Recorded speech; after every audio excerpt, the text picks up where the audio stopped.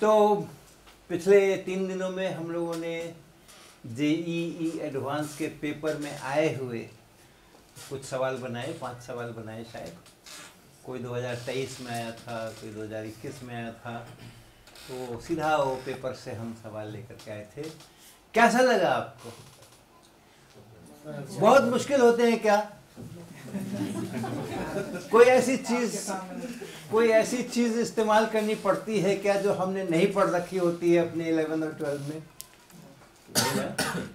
बहुत simple simple जो चीज़ें आप पढ़ते हैं, उसी से जेईई एडवांस के भी सवाल बनते हैं। तो सबसे पहले तो ये बिल्कुल इस पर्सपेक्टिव को बदल दीजिए कि जे एडवांस का पेपर कठिन होता है। कुछ भी कठिन नहीं होता है।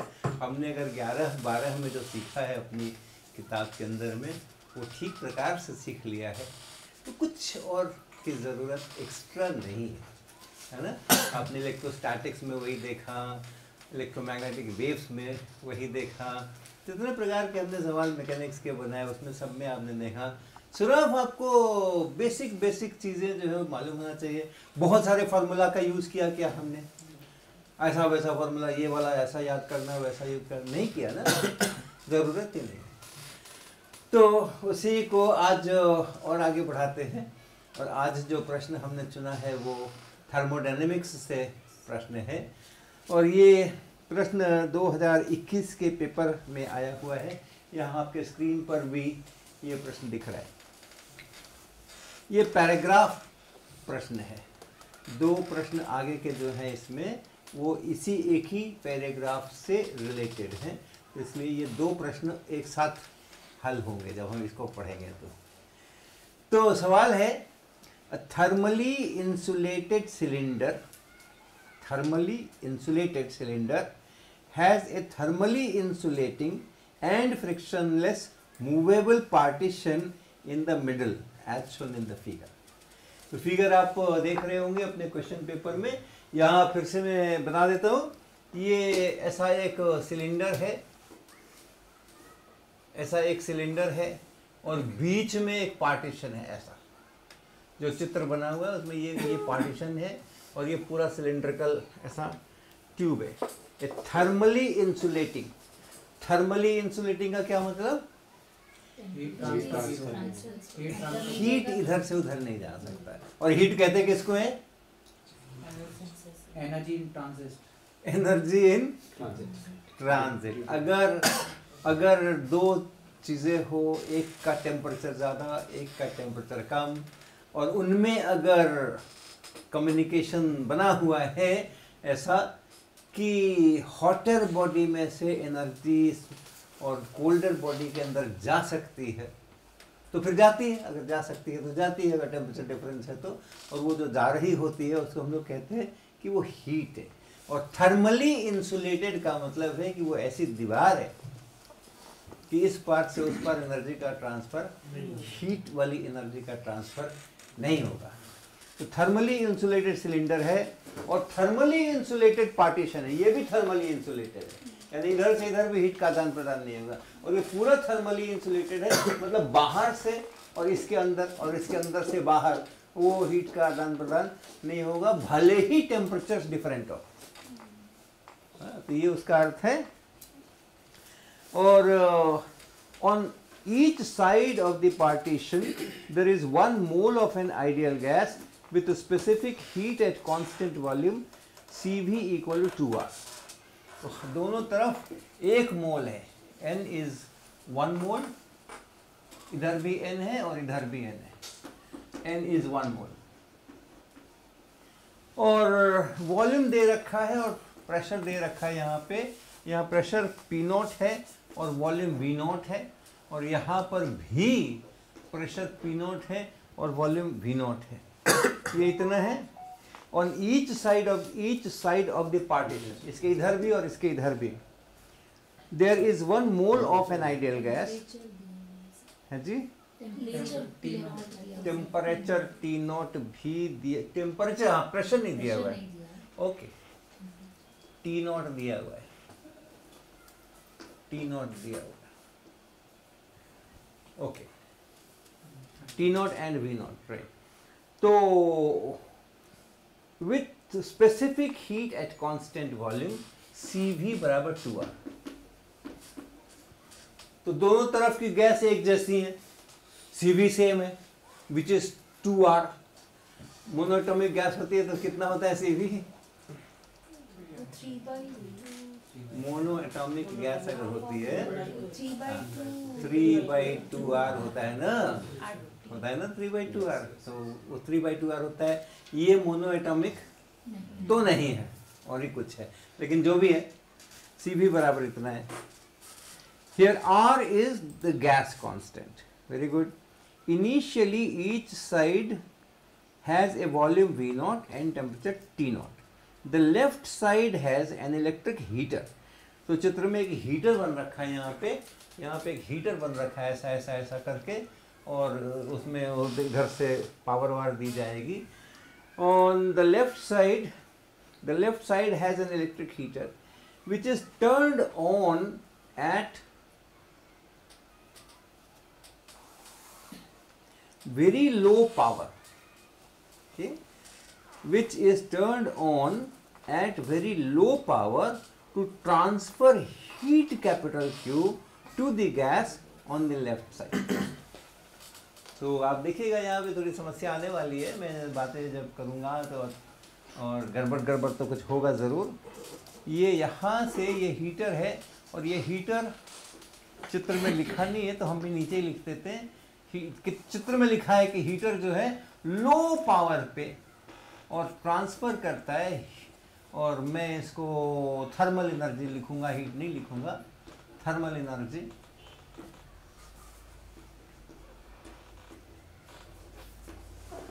और उसका जो वैल्यू है वो लिखा है क्यू कैपिटल यानी हीटर को लो पावर लो पावर क्यों? लो पावर क्यों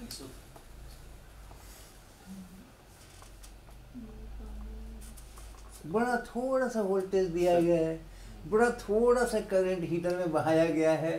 और वो थोड़ा थोड़ा बहुत स्लो रेट से एनर्जी ट्रांसफ़र कर रहे हैं।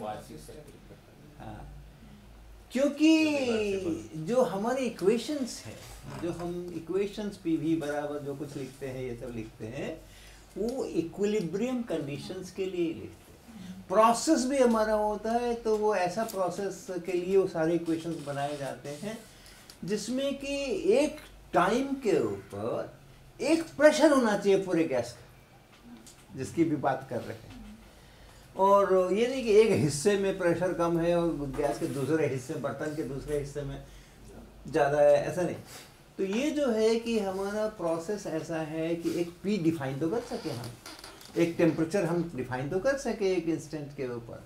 अगर ऐसा हो जाए कि हमने हीटर तेज जला दिया, इसके पास वाली जो गैस है, वो तो गर्म हो गई, और अभी यहाँ गर्म नहीं हुई है तो क्या टेम्परेचर लिखेंगे फिर हम? अगर कहें कि इसका ये टेम्परेचर टी नॉट से बदल करके भाई इतना हो गया, उतना हो गया ऐसा बदल गया, वैसा बदल गया प्रोसेस के दौरान ये सब हो रहा है तो हमें चाहिए ना एक टी। तो इसलिए उसको स्लो वेरिएशंस करना। ताकि अगर डिफरेंस भी है तो इनफाइनाइटेसिमल डिफरेंस है। कि यहाँ की गैस का टेम्परेचर ज़्यादा यहाँ की गैस का टेम्परेचर कम अगर ऐसा है भी तो वो बिल्कुल इन्फिनिटिसमल टाइप का बहुत छोटा सा डिफरेंस है जो हमारी इक्वेशंस को बहुत इफ़ेक्ट नहीं करे। तो ऐसे ही प्रोसेस को बोलते हैं क्वेजी स्टैटिक क्वेजी यानी पूरा स्टैटिक तो नहीं है। कुछ तो है कुछ तो है गड़बड़। तो क्वेजी स्टैटिक ऐसे प्रोसेस बोलते हैं और सारे इक्वेशंस उन्हीं के लिए होते हैं हमारे। सारे इक्वेशंस उन्हीं के लिए होते हैं। ठीक है? आपने बहुत बार सुना होगा किसी चीज़ को जब हम सडनली कॉम्प्रेस करते हैं किसी गैस को तो बोलते हैं वो सडन कॉम्प्रेशन कर रहे हैं तो ये एडियाबेटिक प्रोसेस है। है? बिल्कुल है एडियाबेटिक बाहर से कोई हीट नहीं जा रही है थर्मल एनर्जी टाइम नहीं दे रहे हैं हम। हाँ मुख्य बात वही है वो सडन करने का कि हम टाइम अलाउ नहीं करते हैं कि बाहर से और अंदर में हीट का आदान प्रदान हो। तो ठीक है नहीं हुआ तो आइडियाबिटिक उसको कह सकते हैं? लेकिन एडियाबिटिक प्रोसेसेस के जो इक्वेशंस हैं एडियाबेटिक प्रोसेसेस के जो इक्वेशंस हैं हम इस सवाल में भी इस्तेमाल करने वाले हैं। वो इक्वेशंस इस्तेमाल नहीं कर सकते। क्योंकि उसमें एक पी नाम की चीज़ आती है। एक वी नाम की चीज़ आती है और एक टी नाम की चीज़ आती है। वॉल्यूम में तो कोई बात नहीं है, जितना बटन है, उतना ही गैस का वॉल्यूम है, उसमें कोई संदेह नहीं है, कोई इफ़ बट नहीं है। बट प्रेशर में है। आपने सडन कॉम्प्रेस किया तो एक साथ कैसे पूरे का टेम्परेचर यूनिफॉर्मली तो नहीं बदल सकता। सडन कॉम्प्रेस किया आपने तो एक साथ एक साथ पूरे का यूनिफॉर्मली तो टेम्परेचर नहीं बदल सकता। तो वो इक्वेशंस आप वहाँ इस्तेमाल करेंगे तो आपको अप्रॉक्सीमेट रिज़ल्ट ही मिलेंगे। बहुत अच्छे रिज़ल्ट नहीं मिलेंगे। तो हम यहाँ आगे बढ़ते हैं। और हमने यहाँ पे, इन्होंने लिखा है कि which is turned on at very low power to transfer heat capital Q to the gas on the left side और हमने उसको कहा कि मैं तो हीट नहीं लिखूँगा मैं उसको थर्मल एनर्जी लिखा मैंने। क्यू अमाउंट की थर्मल एनर्जी हीटर ने ट्रांसफ़र की। ऐसा क्यों? ऐसा मैंने क्यों किया? Uh. नहीं नहीं हीट को तो जूल में नापते ना। How many joule? Heat energy. हाँ एनर्जी तो है। Sir actually it's an external work जो क्योंकि थर्मली इंसुलेटेड है तो ये वर्क हुआ है बेसिकली सिस्टम पे। मतलब इलेक्ट्रिक एनर्जी वर्क पावर है। वो energy electric energy heat energy में कन्वर्ट हुई है और उस हीट एनर्जी से टेम्परेचर में कि हीट ट्रांसफ़र तो सिस्टम की बाउंड्रीज होने नहीं देंगी। Kinetic energy of the molecules are changing, that's why the जो हीटर है जो हीटर है वेरी लो पावर पे आप उसको दे रहे हैं तो जब उसको आप ऑन करेंगे तो वो हीटर हमारी गैस से गर्म था क्या हॉटर था क्या? नहीं ना? नहीं ना? तो फिर वो तो हीट ट्रांसफ़र नहीं करेगा। उसके लिए तो हॉटर और कोल्डर बॉडी होंगी, तभी हीट ट्रांसफ़र करेगी। राइट तो हम डिफेंड कर सकते हैं कि ठीक है उस हीटर का अपना टेम्परेचर बढ़ा पहले तो उसी का बढ़ेगा। उसके बाद वो बाकी को देगा। तो वहाँ तो ठीक है लेकिन एज सच एज सच अगर आप हीटर का ही क्यों बढ़ा? हीटर को किसने हीट दिया? current uh, जो flowing. तो हम इसको एक बार साइड में करते हैं। हमारे पास में एक हीटर है। और हमने इसके अंदर में इसको पावर में जोड़ा और ये गर्म हो गया। इसका टेम्परेचर बढ़ गया। Power dissipation. इसको किसी ने हीट दिया क्या? किसने हीट दिया? Current. किसने हीट दिया? करंट थोड़ी हीट देती है. हीट देने वाली तो कोई वस्तु ही होती है ना. इसका इसमें रेसिस्टेंस था उसने हीट दिया अपने आप को हीट दे दिया क्या? हीटर तो खुद ही रेसिस्टेंस इलेक्ट्रॉन की हाँ, है. आपके पास ये देखो ये तो है हीटर अब इस हीटर को कोई दे रहा है। ओके तो ये तो ये तार या तो ये तार देगा या तो ये तार देगा। या तो ये देगा या आपने स्विच लगाया है वो स्विच देगा। इनमें से कोई भी चीज़ हीटर से अधिक टेम्परेचर पर ठीक है? नहीं ना? तो इसको हीट कौन देगा. कोई नहीं देगा। हीट तभी दी जा सकती है और ली जा सकती है जबकि आपके पास टेम्परेचर डिफरेंस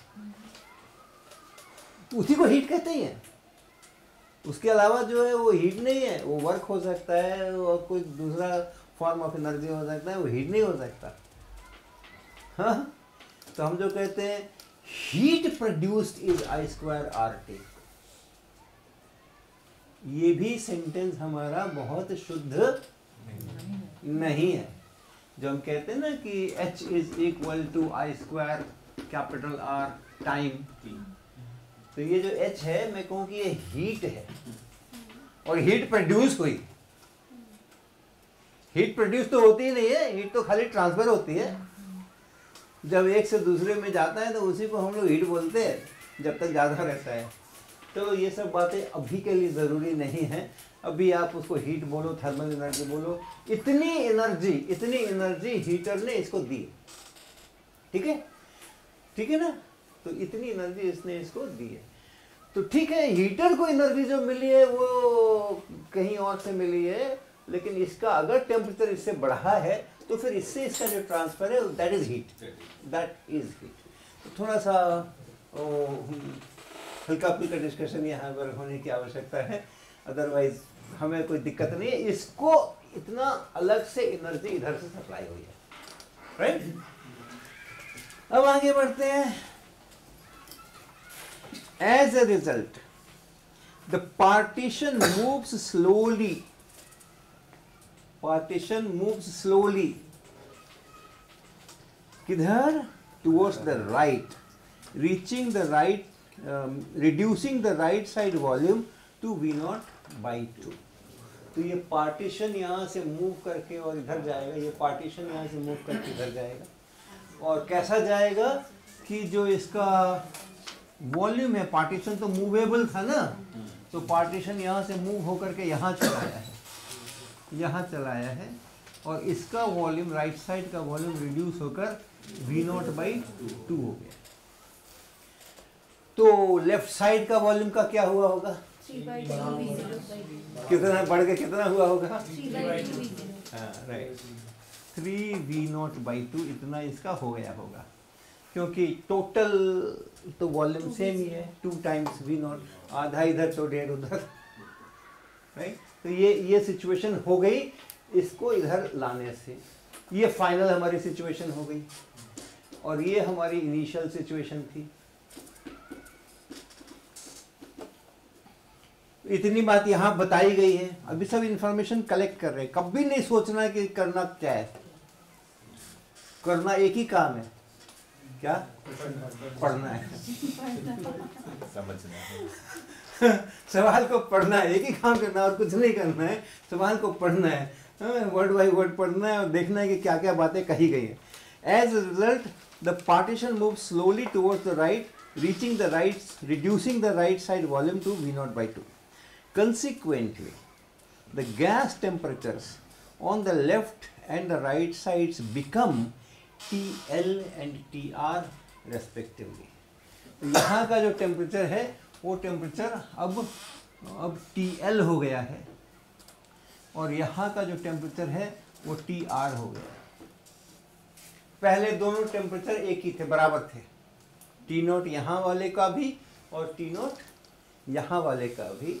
अब पार्टीशन के खिसकने के कारण से और इधर से हीट जो सप्लाई हुई है इसके द्वारा इसको, उसके कारण से इधर का वॉल्यूम बढ़ गया है इतना, इधर का वॉल्यूम घट करके हो गया इतना, इधर का टेम्परेचर बदल गया टी नोट से बदल के टी एल हो गया और यहाँ टी नोट से बदल करके टी आर हो गया। ठीक है? अब आया सवाल। अभी तक थी information ignore the changes in the temperature of the cylinder heater and partition partition भी गर्म हो सकता है ना तो उसको सिलेंडर की दीवारें गर्म हो सकती हैं, उन सबको आप भूल जाओ। अब आपके लिए पहला सवाल है, इसमें दो सवाल है। इसी सिचुएशन पे पहला सवाल है the value of T R by T naught is आपसे पूछा जा रहा है कि T R by T naught इसका कुछ वैल्यू है, कुछ वैल्यूज़ दिए हुए हैं, चार वैल्यूज़ दिए हुए हैं। आपको इसमें से एक सही हो, एक ही सही होगा क्योंकि अलग अलग न्यूमेरिकल वैल्यूज़ हैं तो दो सही नहीं हो सकते हैं। तो कौन सा सही हो पता करना है। तो हम लोग इसमें से हमें ये कैपिटल टी आर निकालना है। ठीक ना? हमें ये कैपिटल टी आर कितना हुआ, ये कितना है, ये पहला सवाल है कि ये कितना है। तो सवाल पढ़ लिया, समझ लिया। अगला क्या है चरण? प्लानिंग करना है, कैसे किया जाएगा, क्या दिया हुआ है और क्या प्राप्त करना है, ये सिचुएशन हम समझ गए कि अच्छा ये काम यहाँ ऐसे ऐसे हुआ और मुझे अब ये चाहिए यहाँ का टेम्परेचर ठीक है? तो हम देखें क्या हो गया। तो इसको देखते हैं हम, इस पार्ट को राइट पार्ट को।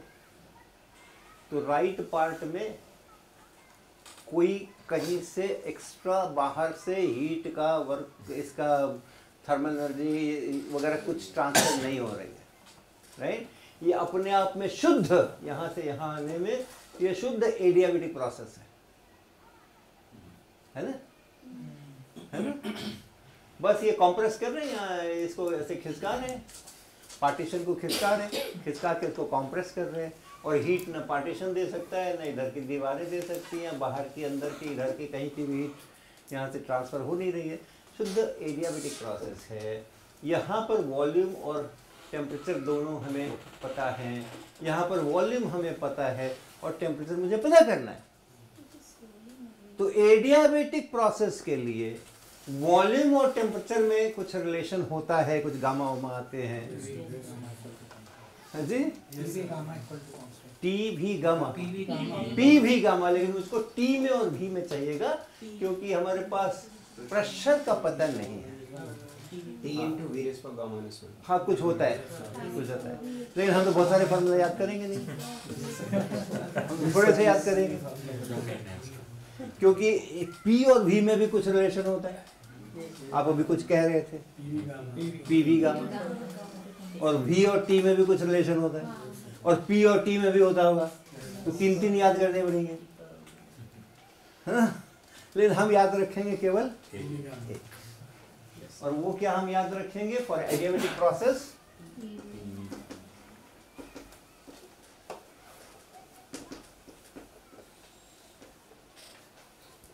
P into V, power gamma. So P1 V1 gamma is equal to P2 V2 gamma. PV gamma is equal to constant. यही मतलब हुआ ना? कि अगर दो समय उस पूरे प्रोसेस के दो टाइम पे अगर एक टाइम पर P1 V1 T1 है, दूसरे टाइम पर वो P2 V2 T2 हो गया है तो ये रिलेशन बनेगा। ये एडियाबेटिक के लिए सही है ना?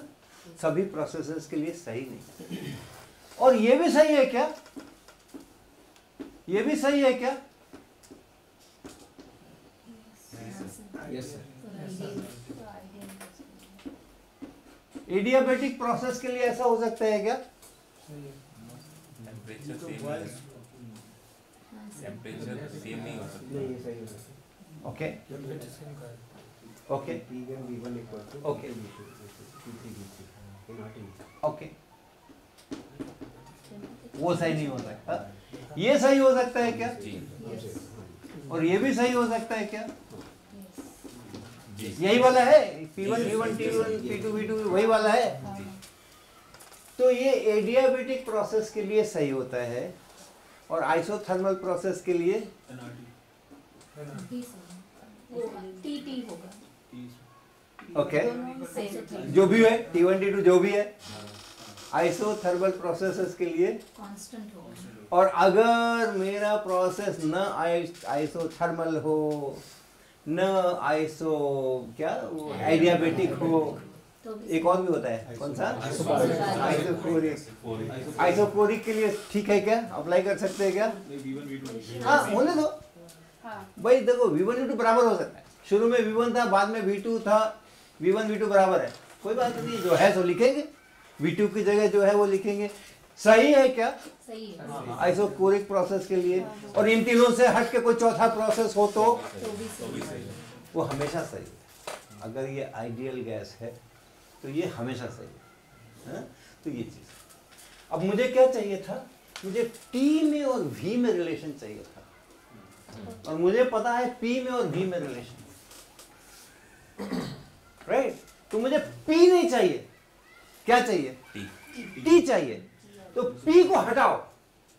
राइट जो P1 है, वो P1 हो जाएगा इतना बटा V1 हो जाएगा ना? और जो P2 है, वो हो जाएगा इतना बटा V2 हो जाएगा? तो रख देते P1 की जगह रख देते हैं हम N R T one by V one और V1 तो ठीक ही है V1 पे पावर गामा P2 की जगह हम क्या लिखेंगे? N R T two by by V two लिखेंगे हम। और उसके बाद वी टू पे पावर ऐसा ही लिखेंगे ना। तो हो गया मेरा काम खत्म। ये देखो एन आर से एन आर तो आप खत्म ही कर दो। T one into V one पे पावर गामा माइनस वन बराबर T two into V two पे पावर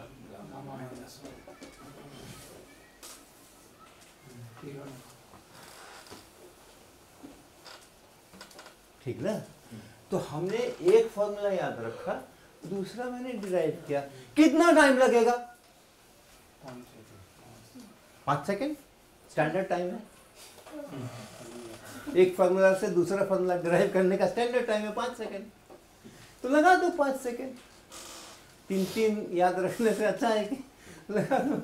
तो ऐसा है इस प्रकार से। तो हमें इसका अगर पता है और ये साथ में पी भी बराबर एन आर टी तो हमेशा ही होना है। तो आपको जो नहीं चाहिए उसको एलिमिनेट कर दीजिए। आपको यहाँ पे आपको प्रेशर नहीं चाहिए था प्रेशर हटा दो यहाँ से निकाल के प्रेशर वहाँ पुट कर दो। हाँ जी मनीष। तो ये यहाँ क्वेश्चन में लिखा है partition move slowly towards the right adiabatic तो वो रहेगा ही अब इसमें स्लोली या फास्ट को कुछ फ़र्क पड़ेगा। हाँ मैंने वही कहा ना कि अगर आप फास्ट करोगे ये इसको इस पार्टीशन को अगर आप फास्ट मूव करोगे तो हो सकता है कि यहाँ वाली गैस का प्रेशर तो तुरंत बढ़ जाएगा। कॉम्प्रेस हो जाएगा जैसे ही इधर गया कॉम्प्रेस हो गया। लेकिन यहाँ की गैस का फिर उतना ही प्रेशर आने में टाइम लग सकता है। क्योंकि तो डिफ्यूजन से ही आएगा ना।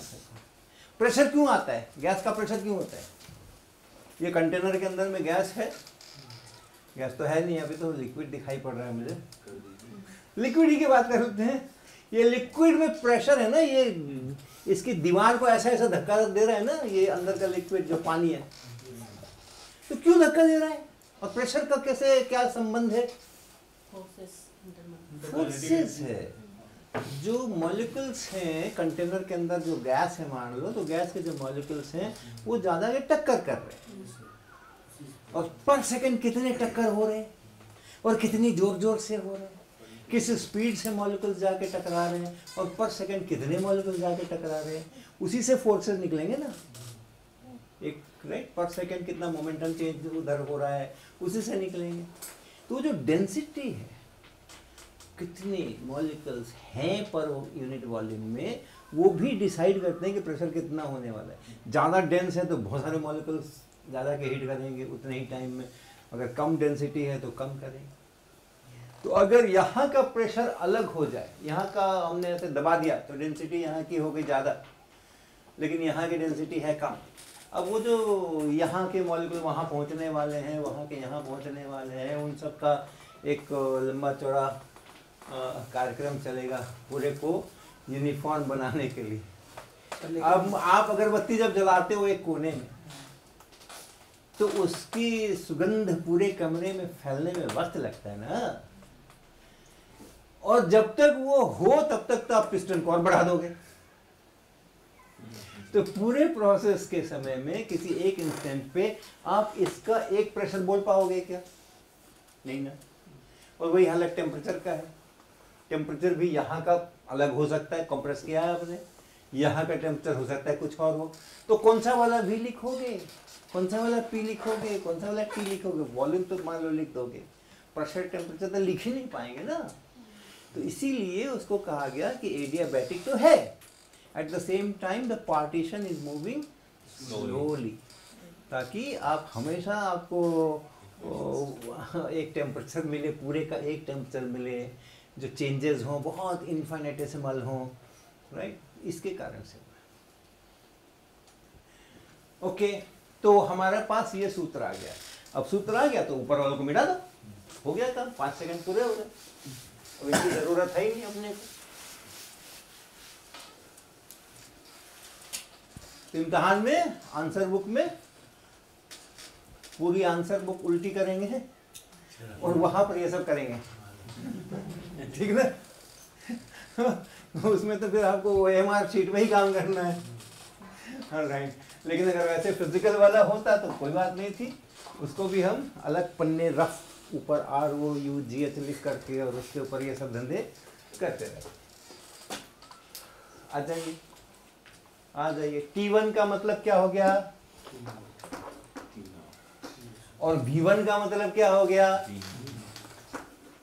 और ऊपर क्या लगा दूँ? T2 का मतलब क्या हो गया? और V2 का मतलब क्या हो गया? और इसके ऊपर लगा दे गामा माइनस वन T2 का मतलब हो गया? यही टी आर चाहिए। यही टी आर चाहिए। सवाल में इसी टी आर का T R divided by T naught का वैल्यू पूछा जा रहा है। तो इधर का उधर उधर का उधर कुछ कर सकते हैं। T R by T naught T R by T naught क्या? बराबर क्या? Two raise.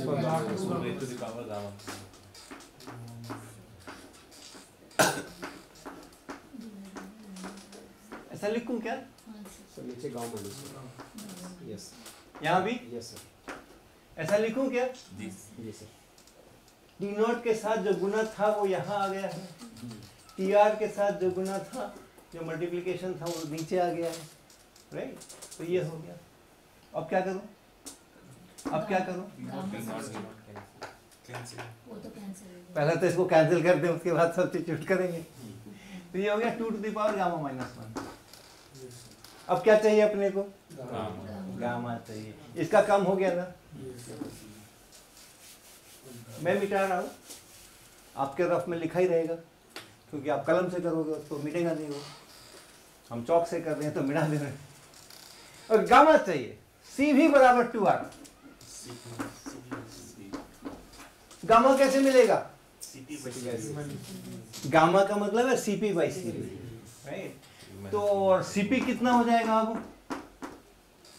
अब सीपी कितना हो जाएगा? Three R three R C P minus C भी इज़ इक्वल टू आर तो इसलिए सी पी चाहिए तो सी में आर को जोड़ दीजिए। तो थ्री आर हो गया। और गामा के लिए आप सी पी में सी से भाग लगाएँगे। तो क्या बनेगा? थ्री बाई टू बनेगा? Three R by two R तो गामा हो गया थ्री बाई टू तो हमारा जो ये था टू टू दावर कितना? Three by two minus one कितना? One by two. One by two two पे पावर वन बाई टू उसी को तो रूट टू कहते हैं। टू पे पावर हाफ़ उसी को तो रूट टू कहते हैं। तो ये हो गया साहब हमारा उत्तर मिल गया हमें। T R by T naught is root two hmm?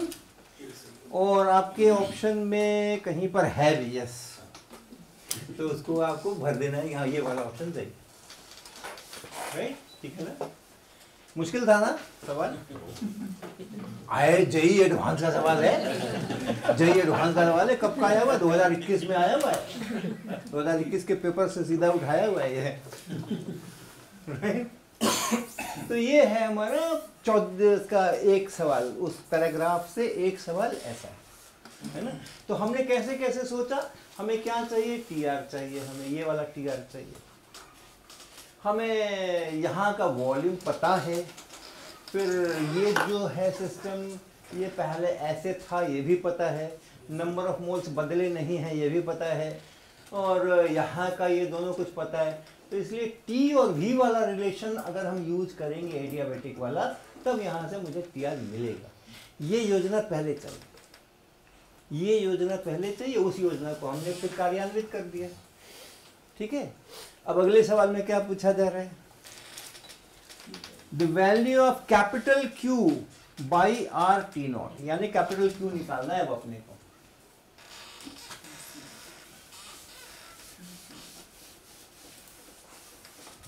Capital Q by R T naught R T naught तो है ही, पता ही है अपना, दिया ही हुआ है।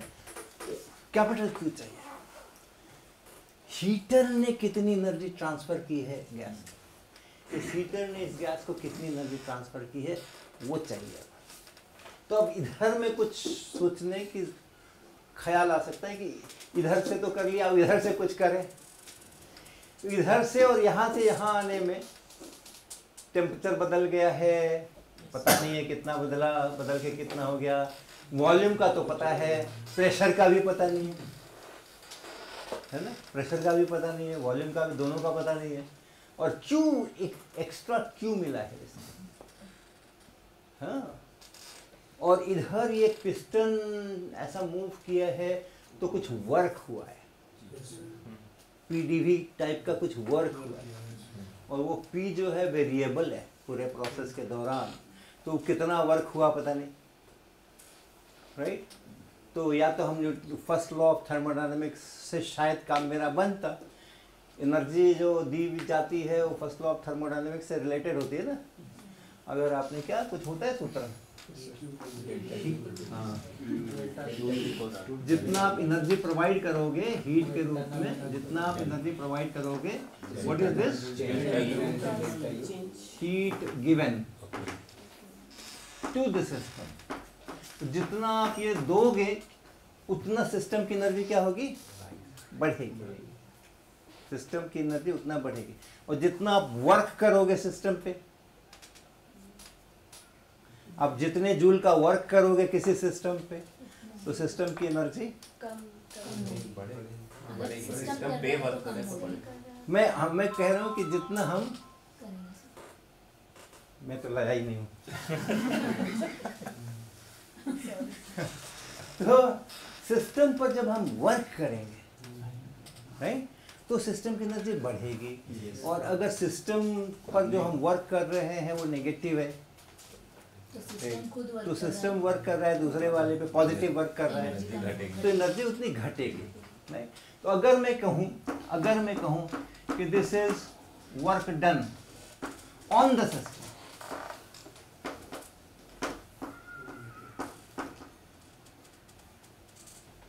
तो मैं क्या लिखूँगा?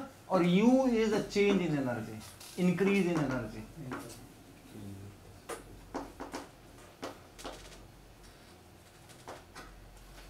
ठीक है? तो जितना हीट दिया उतना सिस्टम की एनर्जी बढ़ेगी। जितना वर्क हमने किया सिस्टम पे उतना एनर्जी बढ़ेगी। तो टोटल कितनी एनर्जी बढ़ी?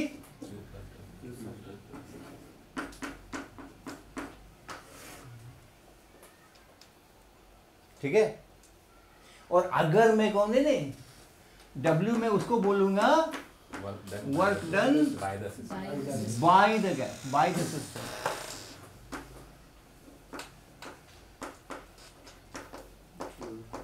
अगर मैं ऐसा बोलूँ डब्ल्यू का इसको बोलिए डब्ल्यू कहलाएगा। तो जितना डब्ल्यू है सिस्टम की एनर्जी उतनी कम होगी। और जितना क्यू है सिस्टम की एनर्जी उतनी बढ़। रही है। कुल मिला के कितनी बढ़ी? क्यू माइनस तो यू बराबर क्यू माइनस अब हमारे विद्यार्थी कई बार बड़े परेशान रहते हैं कि फिजिक्स वाले तो ऐसा लिखाते हैं फ़र्स्ट लॉ ऑफ़ थर्मोडायनेमिक्स और केमिस्ट्री वाले ऐसा लिखाते हैं। तो दोनों के बड़े अलग अलग किस्म के फार्मूले हैं अलग अलग किस्म के इक्वेशन है। कोई अलग अलग किस्म के फार्मूले नहीं है। कोई अलग अलग किस्म के फॉर्मूले नहीं है। आपको याद भी करने की ज़रूरत नहीं है कि प्लस लिखना है कि माइनस लिखना है यू इधर लिखना है कि क्यू उधर लिखना है। इसको तो याद रखने की ही ज़रूरत नहीं है। फ़र्स्ट लॉ के फॉर्मूले को तो याद ही मत रखो। बीस पच्चीस ही तो याद रखना है टोटल में करके तो हटाओ इसको इसकी ज़रूरत ही नहीं है। न इसकी ज़रूरत है न इसकी ज़रूरत है। किसकी ज़रूरत है? अंडरस्टैंडिंग हीट दिया, एनर्जी बढ़ाई। अगर उस पर वर्क कर दिया तो भी एनर्जी बढ़ाई। और सिस्टम ने अगर वर्क किया है तो एनर्जी घटाई। और सिस्टम ने अगर हीट दिया है तो एनर्जी घटाई। आपको देखना है टोटल एनर्जी कितनी बढ़ी कितनी घटी, क्या हो गया? आप अपने फॉर्मूला वही का वही बनाओ। आप अपने फॉर्मूला वही के बन आप डिपेंड करता है कि आप क्यों किसको कह रहे हो। सिस्टम को जितना हीट दिया, उसको क्यों कह रहे हो क्या? या सिस्टम से जितना हीट निकाल दिया, उसको क्यों कह रहे हो क्या? डब्ल्यू किसको कह रहे हो? आपने जितना वर्क किया सिस्टम तो उसको डब्ल्यू कह रहे हो क्या? हाँ वर्क के फॉर्मूला में कहीं कोई केमिस्ट्री और फिजिक्स में मतभेद नहीं। वर्क का जो फॉर्मूला बनता है हमारा बेसिक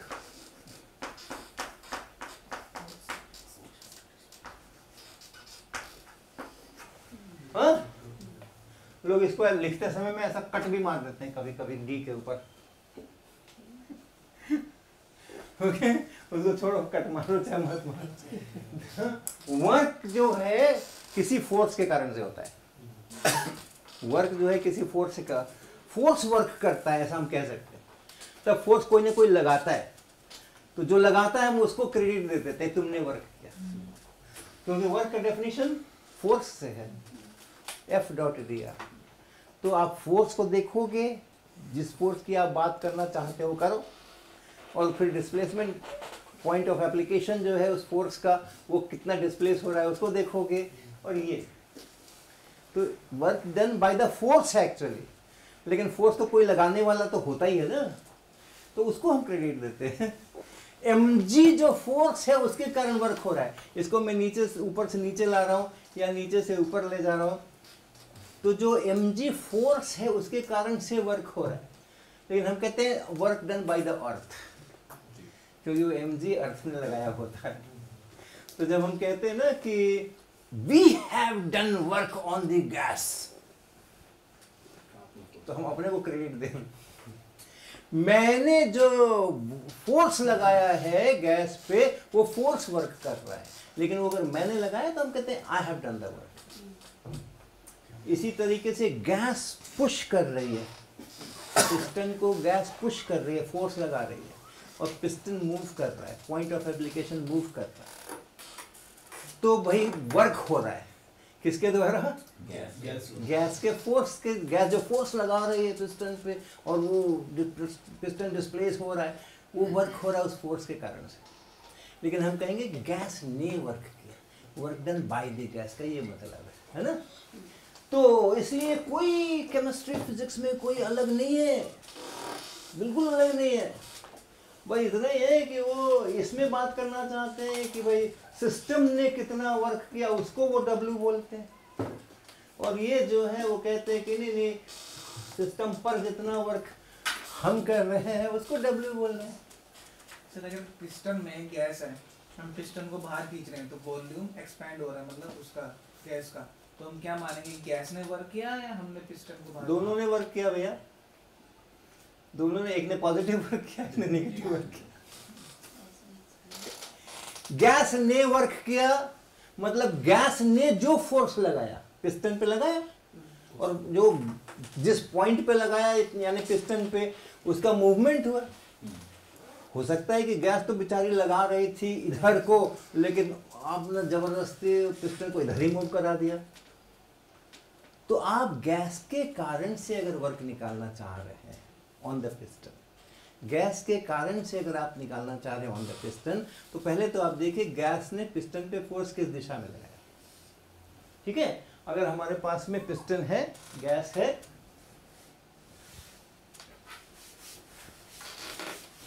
अगर हमारे पास ये ये ये है और इसमें ये पिस्टन है और ये पिस्टन है ऐसे, ये पूरा यहाँ से टाइट है, ये पिस्टन है और ये गैस है। यहाँ पर गैस है। और हमने इस पिस्टन को धक्का वक्का दे करके और इस तरफ़ को धक्का दे दिया, इस तरफ़ को इसको ठेल दिया। तो गैस तो इधर ही फोर्स लगा रही थी ना पिस्टन पे? और पिस्टन का डिस्प्लेसमेंट किधर हो गया? तो गैस के द्वारा जो काम किया गया है, वो नेगेटिव में लिखेंगे हम। इतने माइनस इतने जूल गैस ने काम किया। और अगर गैस ने काम किया इस तरफ़ फोर्स लगाया और ये पिस्टन भी इधर ही खिसक गया। तो W पॉजिटिव भी हो सकता है, W नेगेटिव भी हो सकता है। ये वाला फॉर्मूला लेकर चलो तो भी, और ये वाला लेकर चलो तो भी। बेसिक रूल याद रखना, शुरू में जो पढ़ा था क्लास 11 में work done by a force is F dot D R F और डी आर एक ही दिशा में है तो पॉजिटिव अपोजिट दिशा में है तो नेगेटिव एंगल पर है तो कॉस थीटा देख लो. राइट तो यानी कि जब भी हम गैस पे वर्क करेंगे या गैस खुद वर्क करेगा तो हम कह सकते हैं दोनों तरफ़ वर्क होगा लेकिन एक पॉजिटिव होगा एक नेगेटिव होगा। हाँ हाँ हाँ बिल्कुल। पिस्टन इधर फोर्स हम उधर से लगा रहे हैं फोर्स हम इधर से लगा रहे हैं। ये दो सिचुएशन हुई। आप गैस के कारण वर्क पूछ रहे हो कि मेरे कारण वर्क पूछ रहे हो? और दूसरा हुआ कि पिस्टन उधर जा रहा है, कि पिस्टन उधर जा रहा है। चार कॉम्बिनेशन है। दो में पॉजिटिव वर्क आना है, दो में नेगेटिव वर्क आना है। किसने वर्क किया, किसके ऊपर वर्क किया? वो ध्यान रखना डब्ल्यू जब निकाल रहे हैं तो किसने वर्क किया और वो किसका डब्ल्यू निकाल रहे हैं? कौन से फोर्स के कारण वर्क डन लिख रहे हैं? गैस के प्रेशर के कारण से जो फोर्स है, उसका वर्क डन लिख रहे हैं? या जो पिस्टन मूव कर रहा है गैस को दबा रहा है गैस को धक्का अलग दिशा में बढ़ा रहा है वॉल्यूम या घटा रहा है वॉल्यूम पिस्टन के कारण से आप वर्क लिख रहे हो। अब देख लो, तय कर लो पहले। जैसे हम कहते हैं ना न्यूटन लॉ अप्लाई करने के पहले सिस्टम तय कर लो, उसके बाद न्यूटन लॉ करना। तो डब्ल्यू कैलकुलेट करने के पहले क्लियर होना चाहिए कि मैं किसके कारण से वर्क लिखना चाह रहा हूँ। पिस्टन के कारण से लिखना चाह रहा हूँ या गैस के कारण से लिखना चाह रहा हूँ? तय होना चाहिए, तय हो जाएगा तो खुद ही बाकी चीज़ें सुलझ जाएँगी। ठीक? अब इसका ये है कि ये वाला अगर आप लेते हैं वर्क बाय द सिस्टम तो उसके लिए एक अच्छा सा सूत्र ये है। कैलकुलेशन अगर करने की नौबत आ जाए तो ये। और इसके कारण से करोगे तो इसका नेगेटिव ये लेके चलोगे। Sir, when we pull the piston in the outer direction, then the gas will, uh, temperature of the gas will decrease. I don't know I don't know हो सकता है कोई हीटर लगाओ बगल से। Sir, no heater, heater नहीं है. भी हीटर है if the walls of this piston are not adiabatic they are not thermally insulating तो इसका टेम्परेचर अगर बढ़ने का कोशिश करेगा या घटने का कोशिश करेगा तो सराउंडिंग से टेम्परेचर डिफरेंस के कारण हीट ट्रांसफ़र हो जाएगा। देन पॉसिबली हो सकता है कि उसका टेम्परेचर बदले ही नहीं। आपने पुल किया वॉल्यूम बढ़ाया But suppose it is insulating, हाँ insulating, then then uh, wo- work done by, on the system, um, how will be the work done on the system? what I am doing I am taking this piston this way Yes, yes. right हाँ, Okay, so the gas is here. Now I am calculating work done by the gas. That will be positive. That will be positive. you have answered your question.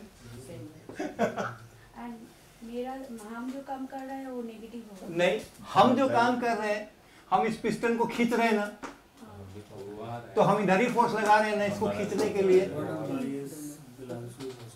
That should be also positive. हाँ yes दोनों yes. positive. हाँ yes but piston जो काम कर रहा है इसके gas के ऊपर। Work done on the piston on the gas by the piston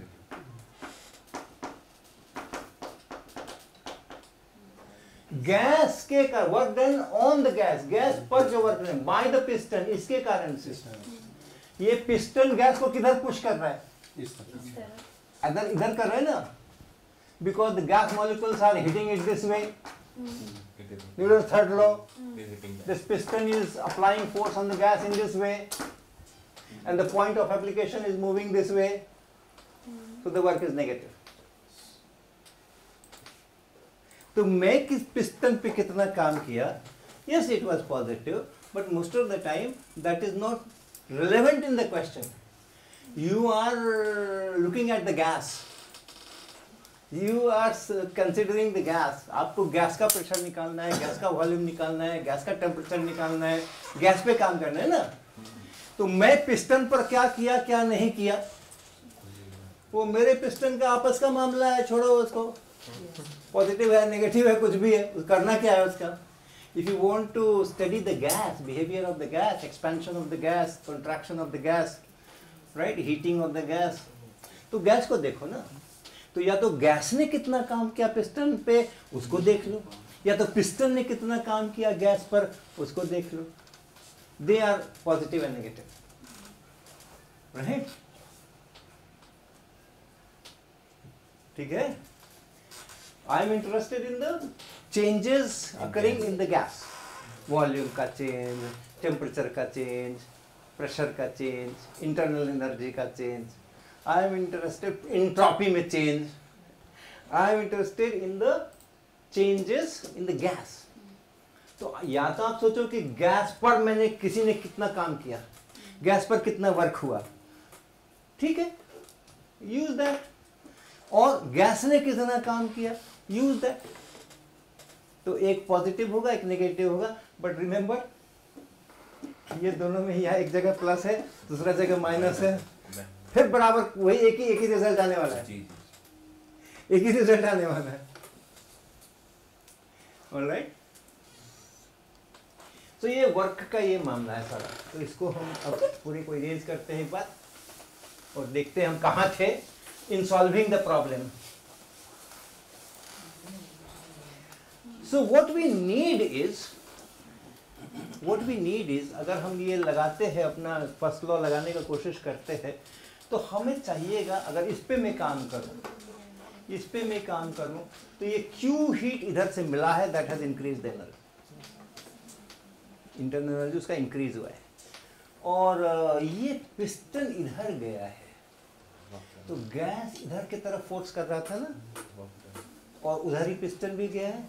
तो work done by the gas is positive तो उतना एनर्जी घटा है।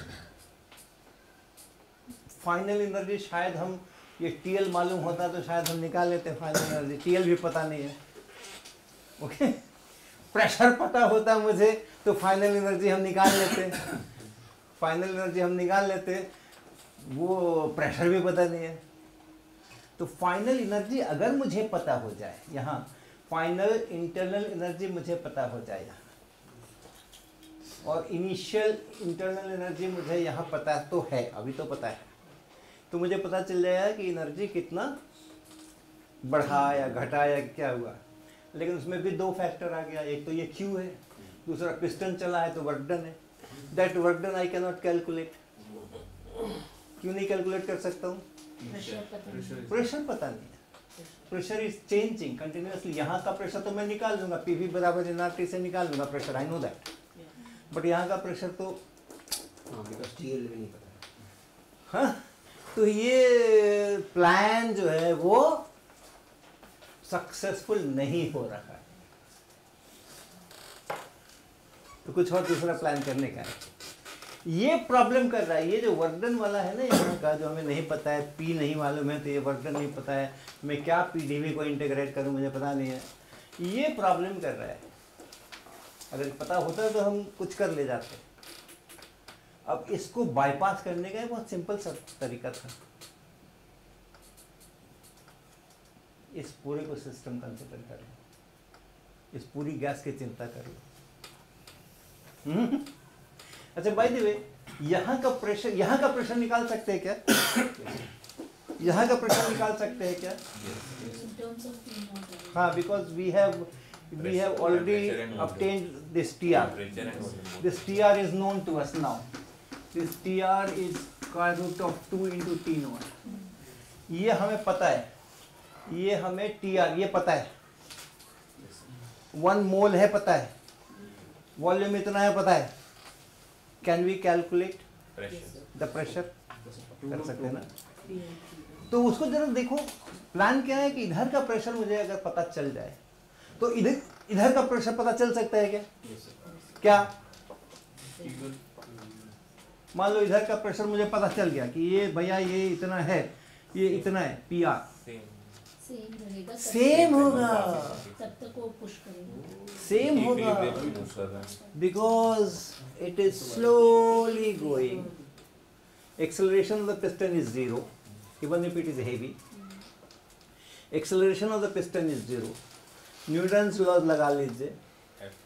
F equal to M A ज़रूर 25 के लिस्ट में उसको रखना है इक्वल टू एम ए को तो चूँकि एक्सेलरेशन ज़ीरो है तो नेट फोर्स ज़ीरो तो पिस्टन तो वही है एरिया तो वही है.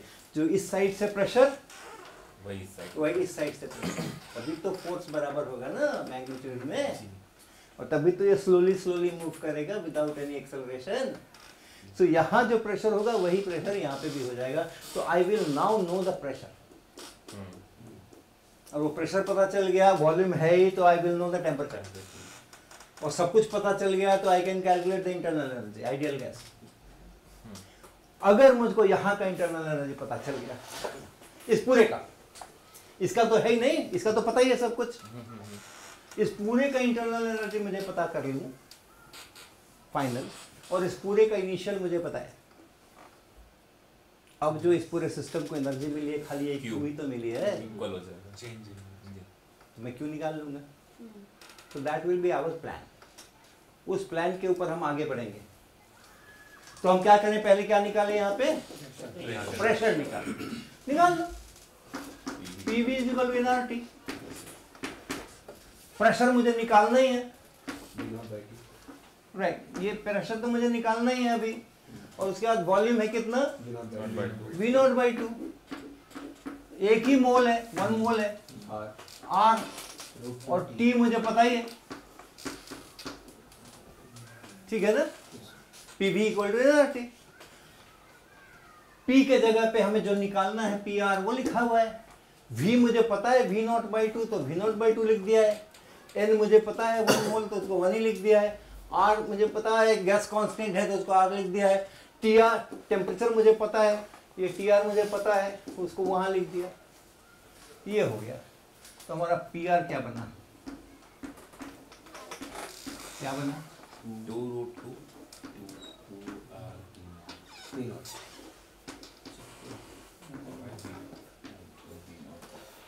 ऐसे ही कुछ बना ना तो इधर का इधर का वो इसका प्रेशर पता चल गया।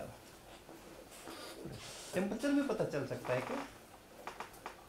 आ वो टेम्परेचर तो पता है ही। नहीं, इसका नहीं, इसका इसका पता है। ओके तो ये प्रेशर का पता चल गया मुझे पी आर हाँ उधर कहाँ लिखा? हूँ यहाँ क्यों लिखा है? ये है ना? क्या निकाला मैंने? है. हाँ राइट साइड का निकाला, वही इसका भी है। हो। जो राइट साइड का है, वही लेफ़्ट साइड का भी है। तो हमें पी आर का पता चल गया। और पी आर है वॉल्यूम है प्रेशर है तो मुझे क्या पता चल गया? फिर से मैं अब इसके लिए लगा दूँगा P V equal to N R T तो कर सकता हूँ ना? तो ये भी निकल जाएगा। अब आया एनर्जी लिखना। एनर्जी कैसे लिखा जाए? आपके पास एक गैस है उसका कुछ सीवी है।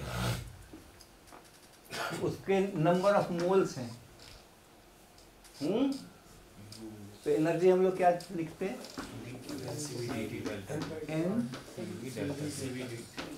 CBDT change in energy के लिए लिखते हैं एनसीबीडीटी टी बराबर ज़ीरो पर यू ज़ीरो कह दो तो फिर सीधा ही ये इक्वेशन बन गया।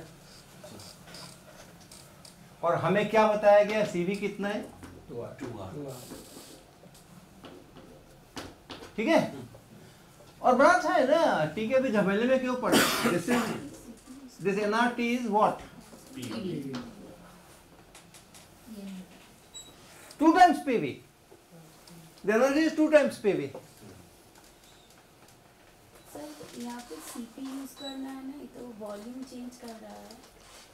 इंटरनल एनर्जी वो जो आप कह रहे हो ना सीपी यूज़ करना है उसमें है कि D Q is equal to N C P D T when at constant pressure. When pressure is constant yes मेरा प्रेशर कांस्टेंट नहीं है। And this is heat supply not the change in internal energy I am asking what is the change in internal energy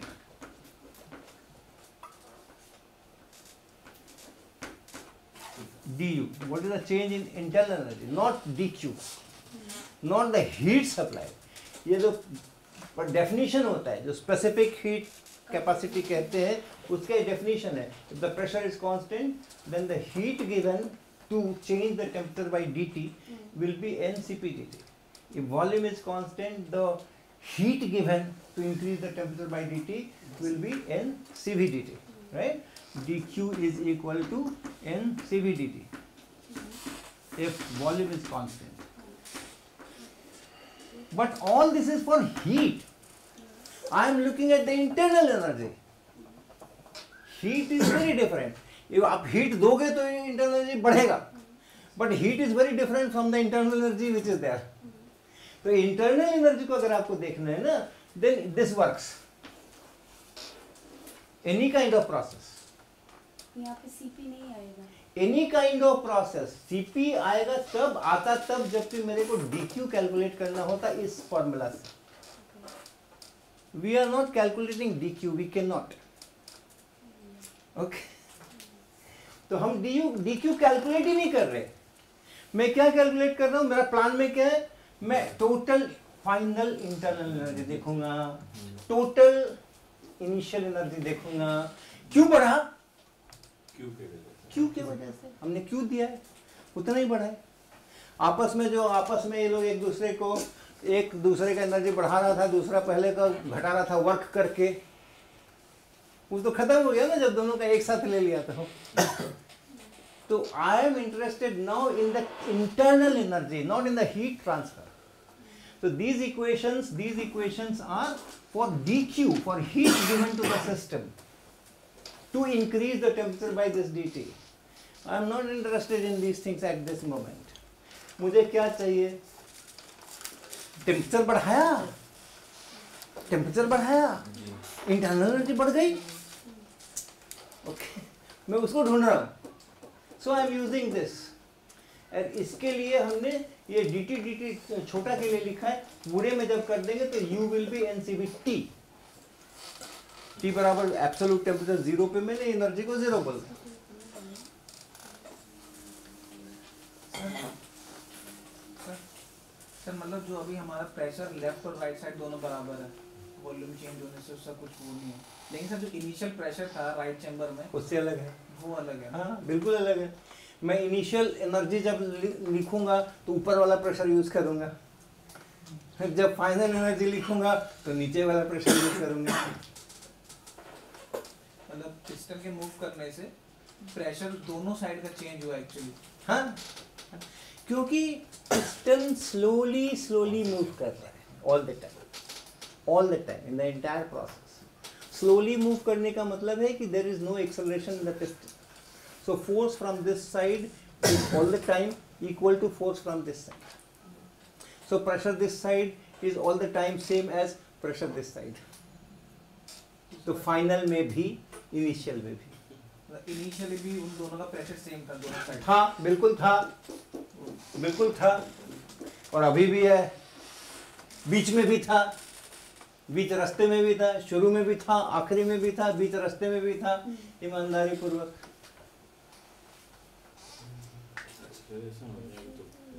Okay. So, the energy is given by this and CV is given to us two times R. तो मेरे को NRT एक साथ मिल गया है। और उसको मैं PV लिख ही सकता हूँ। तो now let us write initial energy and final energy ये याद रखते हैं ऊपर लिखने जाते लिख लेते हैं। Energy is given by two times P V ये मेरा फॉर्मूला है। ये फॉर्मूला है, मैं इस्तेमाल करना चाह रहा हूँ इस फॉर्मूला का। और ये फॉर्मूला इसी सवाल के लिए, दूसरे सवाल के लिए नहीं है।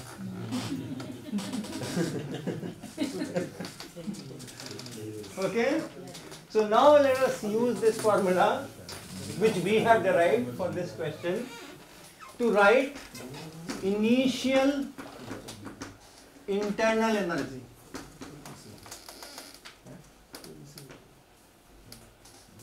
of the entire gas पूरे गैस का पूरे गैस इसका प्रेशर कितना होगा अभी बोलो तो? पीवी पीवी कितना होगा? अच्छा हाँ या पीवी कितना होगा? एन आर टी तो आर टी नॉट होगा ना? यहाँ पर कितना होगा?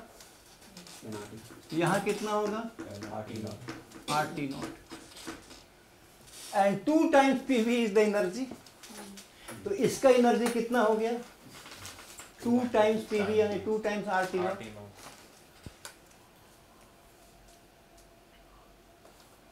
So this uh, is two times R T nought ये इसका एनर्जी बनेगा। इसका कितना बनेगा? इसका कितना बनेगा? बनेगा ना? ऐसा कुछ बनेगा? ठीक है?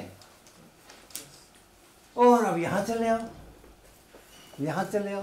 Final final internal energy of the entire gas तो पहले इसका कर लेते हैं। पी पता है अपने को? निकाले थे ना अभी? पी निकाला है ना इसका? इसका निकाला था? और उतना ही इसका भी है।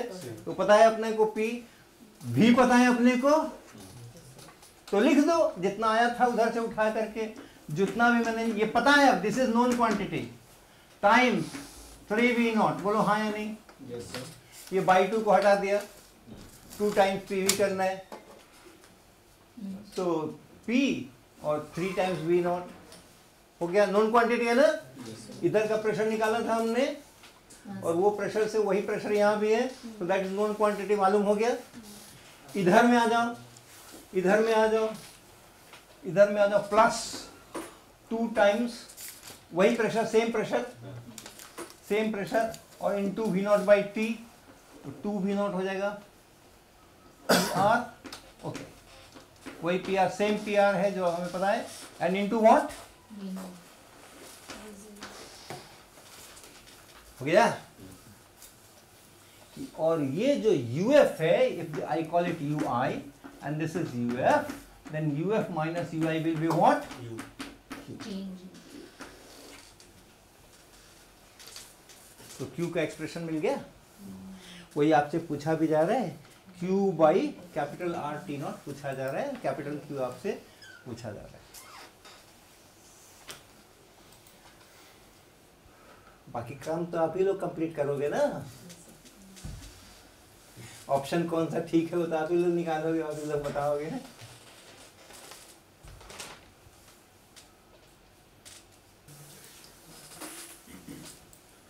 चलो प्लान सोचने में आपका स्किल है।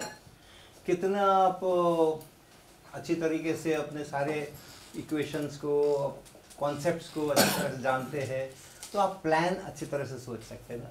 तो प्लान थोड़े, सोचने में थोड़ा स्किल है। But there is nothing which you do not know और विच इज़ वेरी स्पेशल कुछ अलग सा चीज़ हमको मालूम होना चाहिए था, तभी हमसे बनता।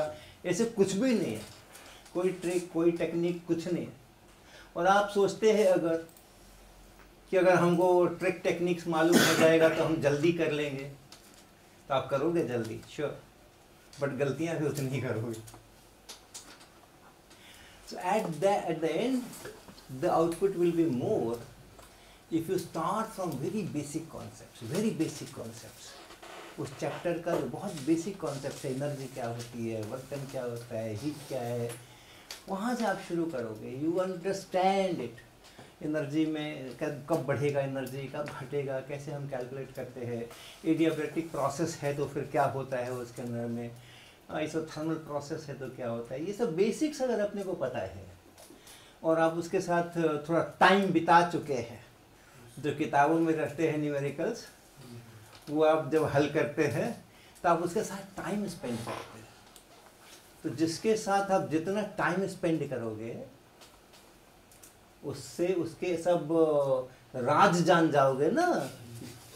हाँ उसके सब राज जान जाओगे ना। जितना ज़्यादा टाइम स्पेंड करोगे, उतना उसके घर में कौन है, भाई बहन है, पिताजी कौन सा बिज़नेस करते हैं, और छोटा भाई क्या करता है, सब धीरे धीरे जानोगे ना।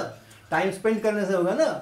टाइम स्पेंड नहीं किए, खाली नाम पूछ लिए और चले गए नमस्ते करके। तो सवालों में जब हम न्यूमेरिकल्स बनाते हैं ना प्रैक्टिस करते हैं जब अपने घर में, अपने टेक्स्ट बुक के आखिरी में जो लिखे रहते हैं, या कोई भी अच्छा सवाल आपको मिलता है, उसको आप बनाते हो तो you just get more and more familiar with it पता तो हो गया, लेकिन उसको अच्छी तरह से समझना, उसके लिए थोड़ा दोस्ती करना पड़ेगा ना उससे। परिचय करके थोड़ा बात कर लिया है वो पाँच मिनट तो कुछ कुछ बात पता चली है। लेकिन उसके भीतर की बातें जो है, कोई बहुत रहस्यमयी नहीं है। उसको समझने के लिए कुछ ज़्यादा दिमाग खपाने का ज़रूरत नहीं है। उसके साथ बैठो, उसके साथ चाय पानी करो, उसके साथ खेलो, करो, काम करो, उसके साथ में टाइम बिताओ उसके साथ में। अब जितना न्यूमेरिकल्स के साथ में टाइम बिताएँगे उतना आप ज़्यादा उसके साथ फेमिलियर हो जाएँगे। एक बार फेमिलियर हो गए तो आप दूर से भी देख के पहचान जाओगे कि हाँ आ रहा है, मेरा दोस्त आ रहा है। हाँ? दूर से कोई दूसरा कपड़ा वपड़ा भी पहना करके वो उसको वैसा करके भी भेजेगा आपके पास में तो भी आप पहचानोगे मेरा दोस्त आ रहा है। और नहीं तो थोड़ा एक दिन तो जिस दिन पहला परिचय हुआ था, उस दिन तो बड़ा अच्छा कुर्ता पजामा पहना था, झट। और आज जो आ रहा है वो पूरा जुल्फ फुल्फ झाड़ करके आ रहा है। और टाई वो टी शर्ट वगैरह एकदम सुंदर वाली लगा के आ रहा है। तो आप पहचानोगे भी नहीं हो उसको। तो आप उसके साथ टाइम स्पेंड करोगे then you will do it तो एक सवाल हम लोग और लेंगे। और ये स्लाइड आप लगा सकते हैं दूसरी। Page number? बारह देखो।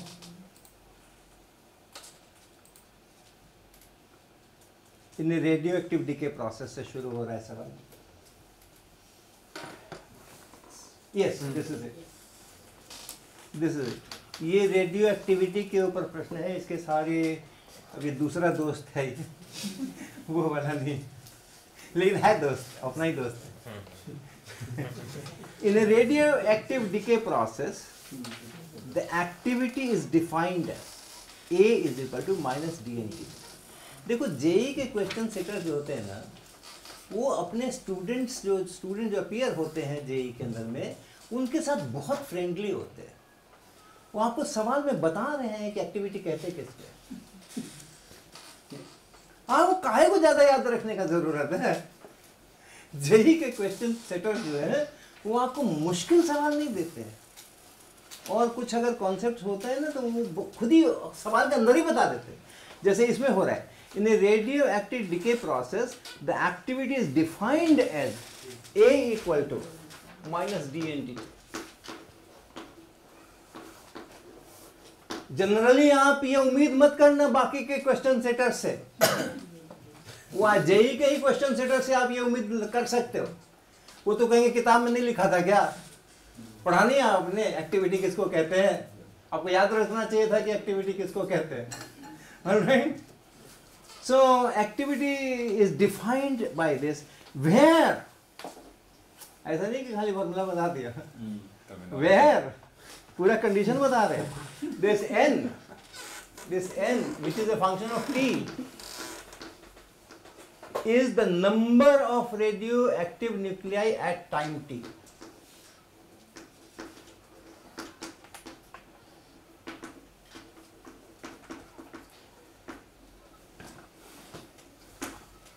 At time T ठीक है? Now two radioactive sources S one and S two have same activity at time T equal to zero दो सोर्स है। एक एस वन है, दूसरा एस टू है।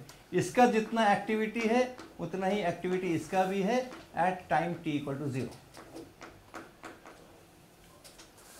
right so that is given two radioactive sources s1 and s2 have same activity at time t equal to 0 at a later time the activities of s1 and s2 are a1 and a2 respectively बाद में इसका activity a1 हो गया उसका activity a2 हो गया when s1 and s2 have just completed their third and seventh half life यानी S one ने कितना समय बिताया? थर्ड हाफ़ हाँ three half life third half life complete किया। तो टोटल तीन हाफ़ लाइफ का उसने समय बिताया है। और जो एस टू है उसने सेवन हाफ़ लाइफ का समय बिताया है। प्रश्न है when one and S2 have just completed their third and seventh half life respectively so ये जो है ये after T equal to three times T half इसका वाला जो टी हाफ़ है उस समय में इसकी कुछ एक्टिविटी है। लेकिन इसके लिए जब कह रहे हैं तो इस टाइम पे नहीं बोल रहे हैं। ये कह रहे हैं कि ये ये ए का है। जो इसका टी हाफ़ था अपना life half life times seven seven ये इसका वाला टाइम अलग है। When this has completed three half lives उस समय का एक्टिविटी जब इसने कंप्लीट किया है सेवन हाफ़ लाइफ उस समय का एक्टिविटी इसको बोल रहे हैं ए वन और इसको बोल रहे हैं ए टू फिर से पढ़िए। At a later time the activities of S one and S two are A one and A two respectively when S1 and S2 have completed their third and seventh half lives respectively, the ratio of A1 by A2 is. अब आपसे पूछा जा रहा है what is A1 by A2? sir uh, sir at a later time it means t1 and t2 are not same They are not. at some instant of time They they are are being both the sources एक ने अपनी three half life खत्म की और एक ने seven क्योंकि आ later time लिखा है। किसी एक टाइम पे T1 and T2 are same, but T half of A and T half of B are not. कर दे दे में भी से करते ऐसे लिखने में कोई हर्ज तो नहीं है ना? हाँ जी। ऐसे लिखने में कोई हर्ज तो नहीं है?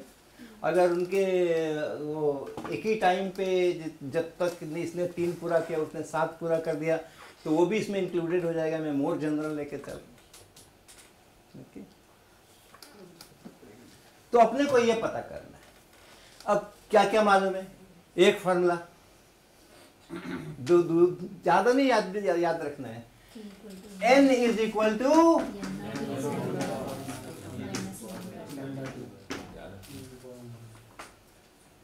ठीक ना? ये तो याद रहेगा ही ना? चैप्टर पढ़ा किस लिए एक तो याद रखो। एक तो याद रखो कम से कम। So activity A is minus D N D T D N D T is what lambda times N nought E power minus lambda T है ना? आप इसको डिफरेंशिएट करना है टी के रेस्पेक्ट में। और यहाँ माइनस लैमडा टी है तो माइनस लैमडा से मल्टीप्लाई करेंगे। और फिर ये तो इतना ही रह जाएगा उसके बाद। और माइनस लैमडा से मल्टीप्लाई करोगे ऑलरेडी एक माइनस यहाँ पर भी है। तो फिर आप न ये वाला माइनस लिखो ना वो वाला माइनस लिखो दोनों से छुट्टी पा जाओ। तो इसलिए यहाँ कुछ नहीं लिखा है। एंड इट इज़ ये ये वाला लैमडा डिफरेंशिएशन के कारण यहाँ आया है। एंड देन ये एन नॉट कांस्टेंट था तो जो का तो लिख गया और इसका डिफरेंशिएशन किया तो फिर ये लिख गया। एन भी हाँ जी? एन नॉट ई का पावर माइनस लैम्डा टी को एन भी लिख सकते हैं। हाँ। वो एन हो गया। Yes yes at time T ठीक है? तो ये है मामला। अब एक आगे हाफ़ लाइफ घुसा हुआ यहाँ पे। अब हाफ़ लाइफ घुसा हुआ यहाँ पे। तो आपको हाफ़ लाइफ का फॉर्मूला न याद हो तो कोई बड़ी बात नहीं है। ये ज़ीरो टाइम पे ले लीजिए, ये ज़ीरो टाइम पे एन नॉट है। टी इक्वल टू ज़ीरो पे एन नॉट है। तो उसका आधा रह गया टी टाइम पे। यही है ना? एक हाफ़ लाइफ गुजर गया। मतलब जितना था उसका आधा रह गया। तो टी इक्वल टू ज़ीरो से शुरू कर रहे हैं और एक हाफ़ लाइफ गुजारेंगे। और इसका जो एन है, पहले एन नॉट था टी इक्वल टू ज़ीरो रखने से ये वन हो गया तो ये नॉट था। और एक हाफ़ लाइफ के बाद वो आधा रह गया एन नॉट बाई टू हो गया। तो ये हो गया, पहले एन नॉट था। और एक हाफ़ लाइफ के बाद तो इतना होना चाहिए इसको। इन है? एक हाफ़ लाइफ का हमने यहाँ से निकाला। कितना एन होगा भाई? एक हाफ़ लाइफ पे तो इतना होगा। But that number is N nought by two क्योंकि हाफ़ लाइफ है तो यहाँ से क्या पता चल गया? One by two is equal to E पे पावर माइनस लैमडा टी हाँ। इससे क्या पता चल गया? Two is equal to E to the power lambda T हाँ। इससे क्या पता चल गया? Log of two base E is equal to lambda into T half तो टी हाफ़ बराबर क्या हो गया? L N two divided by lambda हो गया? कितना कितना टाइम लगेगा? पाँच सेकंड स्टैंडर्ड स्टैंडर्ड टाइम है पाँच सेकंड बहुत चीज़ याद रखने क्या ज़रूरत है? ओके तो ये है मामला. तो अब अब हम इन सबको मिटा दे सकते हैं. आई नीड मुझे जो चाहिए था वो सब मिल गया मुझे। A one by A two निकालना है, याद है मुझे। What is A one okay T time के पर अगर मैं देखता हूँ तो आपका जो ए टी है, या एन ही ले लेते हैं, चलो। A is equal to lambda times N A is equal to lambda times ये इतना एन ये है ना? ओरी ओ ठीक है। E to the power minus E to the power A is equal to this N nought चलो ठीक है इसी से करते हैं आगे। अब ए वन बताओ। ए वन बताओ शुरू में एन नॉट है। शुरू में आठ T equal to zero N nought है पहले का या एन वन है पहले का? लैम्डा वन है उसका तो how much is the activity how much is the activity और दूसरे का? दूसरे का? सेकंड वाले का?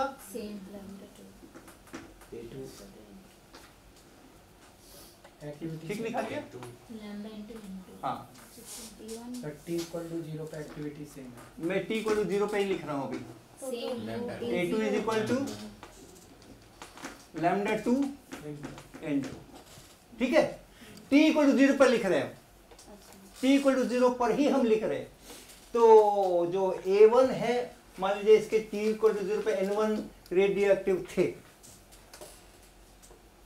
और उसका जो लैम्डा है, वो लैम्डा वन था। तो एक्टिविटीज़ है लैम्डा टाइम्स एन तो क्या हो गया? एक्टिविटी हो गई lambda one N one second वाले का हो गया, लैम्डा टू एन टू तो मेरे को दे के रखा है कि lambda one N one is equal to lambda two A two N two T equal to zero T equal to zero का मामला है। ठीक है क्या?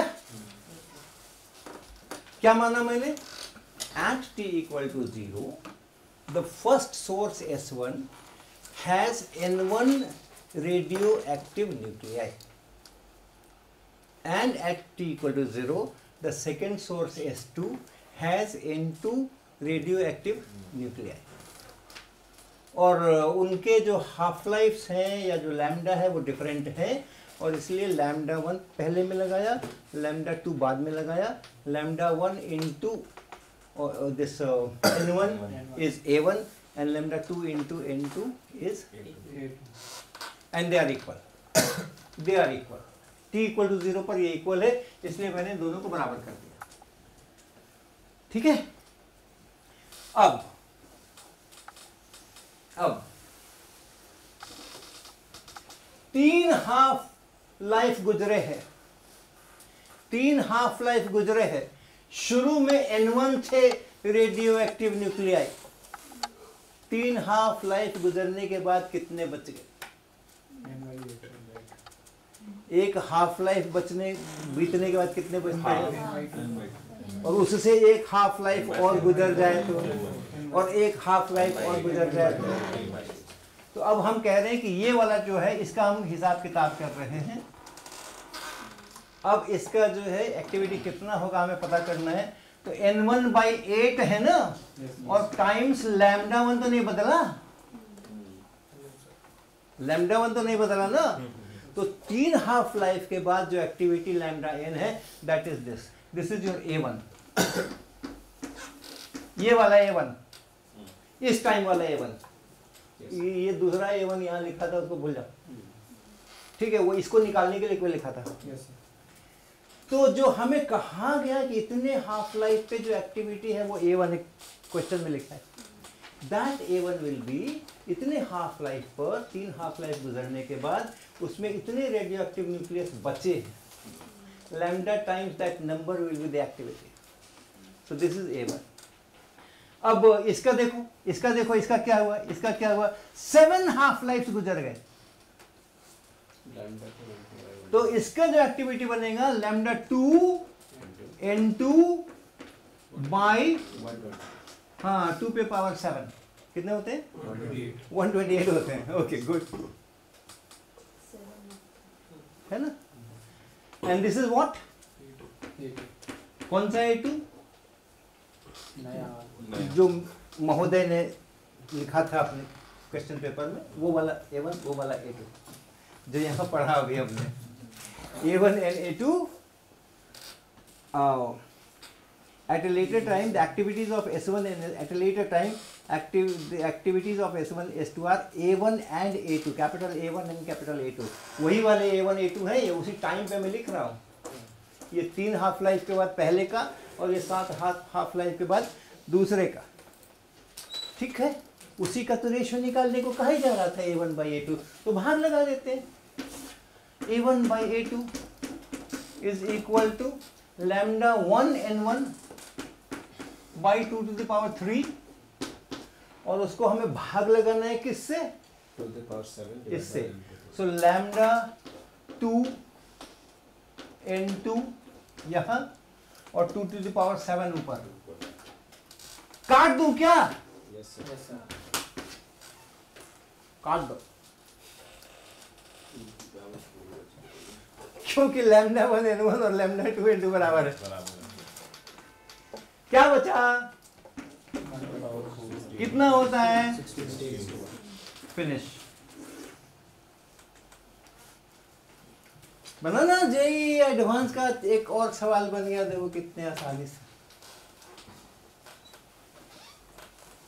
ठीक है? तो ये रेडियो एक्टिव डिके का मामला है, और रेडियो एक्टिव डिके जो होते हैं, वो होते ही क्यों हैं? सवाल तो बन गया।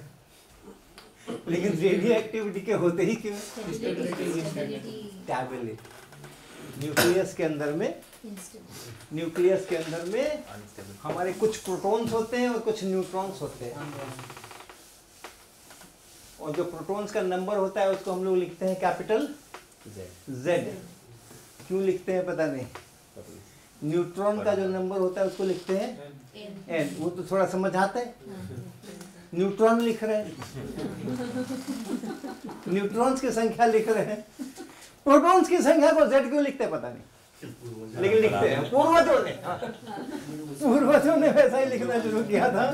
तो हम लोग उनका सम्मान करते हुए वैसा ही लिखते हैं। तो जो न्यूक्लियस है, उस न्यूक्लियस के अंदर में कुछ प्रोटॉन्स होते हैं। फैले हुए। और कुछ न्यूट्रॉन्स होते हैं। कुछ न्यूट्रॉन्स होते हैं। ये जो एन बाई जेड है, शुरू में देखेंगे आप जो छोटे छोटे न्यूक्लियस होते हैं, सबसे छोटा वाला नहीं। उसके बाद से, ये बराबर होते हैं, जितने एन उतने जेड मोस्ट स्टेबल जो मोस्ट स्टेबल जो है, उसके अंदर में कार्बन देख लो ऑक्सीजन देख लो नाइट्रोजन देख लो ये बेरिलियम देख लो इधर जो है, वो सब बराबर बराबर चलते हैं। लेकिन बाद वाले जो न्यूक्लियस है, उसमें न्यूट्रॉन का नंबर ज़्यादा होता है प्रोटॉन का कम होता है। आयरन का देखोगे तो 56 टोटल होते 26 प्रोटॉन्स होते 30 न्यूट्रॉन्स होते और यूरेनियम में कहीं पहुँच गए। तो क्या 235 और 238 वगैरह टोटल होते हैं? सिर्फ़ 92 उसमें से प्रोटॉन्स है तो कैसा न्यूक्लियस है उसके अनुसार एक एन बाई जेड का एक स्टेबिलिटी के लिए एक खास वैल्यू चाहिए अपने को या उसके आसपास की वैल्यू चाहिए। राइट तो उससे अगर ज़्यादा हो जाए स्टेबिलिटी के लिए जितना चाहिए उससे अगर ज़्यादा हो जाए एन ज़रूरत से ज़्यादा है। प्रोटॉन ज़रूरत से कम है। तो इनके पास एक सुविधा है, एक विशेष सुविधा है न्यूट्रॉन और प्रोटॉन के साथ, कि एक न्यूट्रॉन जो है, वो अपने आप को कन्वर्ट कर ले प्रोटॉन में। एक न्यूट्रॉन जो है, वो अपने आप को कन्वर्ट करे। है ना? कन्वर्शन हो गया। और अगर कन्वर्शन हो गया है तो कुछ नियमों के तहत conversion conversion is allowed but you can not do illegal conversion तो पहला नियम है कि चार्ज नहीं बदलना चाहिए। यहाँ ज़ीरो चार्ज है तो यहाँ ज़ीरो चार्ज होना ही चाहिए। तो प्रोटोन जब कन्वर्ट कर रहे हो तो एक इलेक्ट्रॉन का मैन्युफैक्चरिंग करना पड़ेगा। तो एक इलेक्ट्रॉन साथ में निकलना चाहिए। और इतने से भी काम नहीं चलेगा। एक और पार्टिकल चाहिए। हाँ न्यूट्रिनो और ऐसा वाला न्यूट्रॉन लिखते हैं लोग। और ऐसा वाला न्यूट्रिनो लिखते इलेक्ट्रॉन के साथ निकला है ना? तो इसको इलेक्ट्रॉन न्यूट्रिनो भी बोलते हैं। और बार लगा देते हैं। क्योंकि अगर कहीं ये जो रेशियो है, उसमें जेड ज़रूरत से ज़्यादा हो जाए। माने एन जितना चाहिए उसे कम हो जाए। ये था जबकि एन ज़्यादा है। लेकिन अगर इस रेशियो के लिए जितना चाहिए, उसमें उससे ज़्यादा जेड है और एन उस अनुसार कम है तो ये भी संभव है कि एक प्रोटॉन जो है, वो अपने आप न्यूट्रॉन में कन्वर्ट करे। पॉजिट्रॉन ये निकाले चार्ज नहीं बदलना चाहिए। और दूसरे जो रूल्स हैं, उनके अनुसार ये न्यूट्रिनो भी होना चाहिए। और इस पे बार नहीं लगाते। ये दो अलग अलग किस्म के न्यूट्रिनो हैं। ओके? न्यूट्रिनो में चार्ज तो होता नहीं है। एंटी पार्टिकल ये एक दूसरे के एंटी पार्टिकल कहे जाते हैं। तो ये जो इलेक्ट्रॉन निकलता है बीटा। उसको कहते हैं बीटा माइनस डिके हो गया। और ये बीटा माइनस पार्टिकल है। और ये जो है ये बीटा प्लस पार्टिकल। ये पॉजिट्रॉन है। ये बीटा प्लस पार्टिकल भी कहा जाता है। कब कहेंगे बीटा पार्टिकल कब कहेंगे इलेक्ट्रॉन? इलेक्ट्रॉन तो मेरे तार में जो करंट बहाते हैं वहाँ भी तो इलेक्ट्रॉन है। न्यूक्लियस से आता है तो बीटा हाँ बीटा। डीके में जो न्यूक्लियस से आ रहा है तो बीटा। हाँ। अगर एटम का ऑर्बिट में है तो है एक ही। है एक ही। उस वाले इलेक्ट्रॉन में जो मेरे तार में से बहता है जब मैं बैटरी से जोड़ता हूँ।